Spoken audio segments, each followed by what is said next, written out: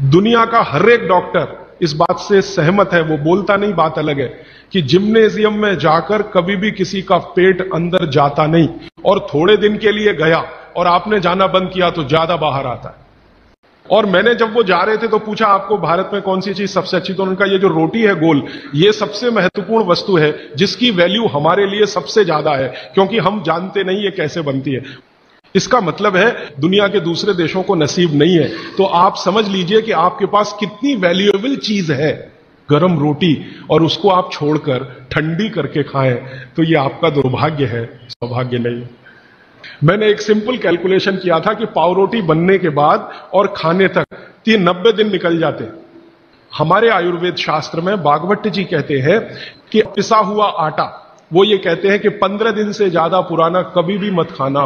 पंद्रह दिन मैक्सिमम वो भी गेहूँ के लिए, ये चना और मक्की और ज्वारी, इसके लिए तो सात ही दिन कहा उन्होंने तो अब आप बोलेंगे, जी, ताज़ा आटा कहाँ से लाएँ? चक्की है, जिंदाबाद। हिंदुस्तान में हज़ारों, लाखों वर्षों से आटा ताज़ा बनाकर रोटी बनाने की परंपरा है कि नहीं? जो माताएँ यहाँ बुज़ुर्ग हैं, इन्होंने अपना गाँव देखा होगा, अपने गाँव के घर की चक्की देखी होगी। और हमारे घरों में ये जो चक्की चलाने का काम माताएँ करती रही हैं, किसी को भी सिजेरियन डिलीवरी नहीं हुई है। चक्की चलाने वाली माताओं के पैरों में दर्द नहीं है। चक्की चलाने वाली माताओं को कभी भी कंधा नहीं दुख रहा है, गर्दन नहीं दुख रही है, नींद अच्छी आ रही है डायबिटीज़ नहीं है। हाइपर टेंशन नहीं है ब्लड प्रेशर नहीं बढ़ा है 48-50 बीमारियाँ नहीं है। और जो माताएँ पिसा हुआ आटा ला रही हैं, कैप्टन कुक, आईटीसी का, उनके घरों में डायबिटीज़ भी है अर्थराइटिस भी है हाइपरटेंशन भी है, ये भी है वो। हम जब चक्की चलाते हैं तो एक दिन चला के देखिए तो आपको समझ में आए। सबसे ज़्यादा दबाव पेट पे पड़ता है। और माँ के पेट में एक एक्स्ट्रा ऑर्गन है जो पिता के पेट में नहीं है, जिसको गर्भाशय कहते हैं। और गर्भाशय के बारे में आयुर्वेद के सारे रिसर्च और आधुनिक विज्ञान के सारे रिसर्च ये कहते हैं कि ये गर्भाशय के आसपास के एरिया में जितना हलन चलन हो, उतनी इसकी फ्लेक्सिबिलिटी है। फ्लेक्सिबिलिटी माने मुलायमियत। ये हमारे गर्भाशय का सबसे बड़ा गुण है। तब मेरे समझ में आया कि जो माताएँ नियमित रूप से चक्की चला रही हैं, उनको सिजेरियन डिलीवरी नहीं हो रही है, क्योंकि गर्भाशय की इलास्टिसिटी मेंटेन है। तो आसानी से बच्चा बाहर आ रहा है बिना किसी ऑपरेशन के। तब मुझे ध्यान आया कि हमारी जो पुरानी माताएँ हैं, उनके आठ आठ दस दस बच्चे होते थे, कभी सुना नहीं कि सिजेरियन वो दाई आती थी गाँव की जो एमबीबीएस नहीं है एमडी नहीं है एमएस नहीं है, और बच्चे करा के चली जाती थी ऐसे ही जैसे दाल पका के कोई चला गया।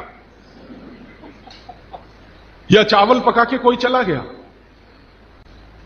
हाँ, ऐसे होता है। और आयुर्वेद तो यहाँ तक कहता है कि माँ का गर्भ सातवें महीने तक चक्की चलाने की अनुमति देता है। माँ को सातवें महीने तक चक्की चलवाई जा सकती है। आठवें महीने में नहीं, फिर उसको बंद कर देना अच्छा है। और उतने सात महीने की चक्की आपके लिए पर्याप्त है कि वो बच्चा बिना सीजर के हो।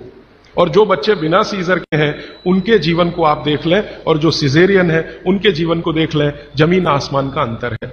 सीजर बच्चे ज़्यादा बीमार हैं समय समय पे बीमारियाँ हैं। जो बिना सीजर हैं, वो सब स्वस्थ हैं, दुरुस्त है, तंदुरुस्त है। ब्रेन का डेवलपमेंट भी उनका अच्छा है। लॉजिक को डेवलप करने की कैपेसिटी, कल्पनाशीलता उनमें दूसरे बच्चों से ज़्यादा है। तो अब आप इसको अपने जीवन में कैसे उतारेंगे इस सूत्र को? अगर संभव हो तो एक एक चक्की ले लीजिए, संभव हो तो। इससे कई फ़ायदे हैं। आपको सबसे बड़ा फ़ायदा तो यह है कि अगर आपको एक्स्ट्रा वेट है और आप उसको लूज करना चाहते हैं, पंद्रह मिनट सुबह अगर आपने चलाया, तीन महीने बाद आप देखना, बारह से तेरह किलो वज़न कम होगा आपका, सिर्फ़ पंद्रह मिनट की चक्की। अब आप बोलेंगे, जी, चक्की कहाँ मिलेगी? चक्की अभी भी मिल रही है, यहीं चेन्नई में मिलेगी। पत्थर बनाने वाले बहुत लोग इस देश में हैं, जो अभी भी ये काम कर रहे हैं, लेकिन वो रो रहे हैं कि, राजू भाई, ये कोई खरीदता नहीं, हम क्या करें? हमारा सिल बट्टा भी कोई खरीदता नहीं, चक्की भी कोई तो मैंने संकल्प लिया है कि मैं बिकवाऊँगा आपकी चक्की।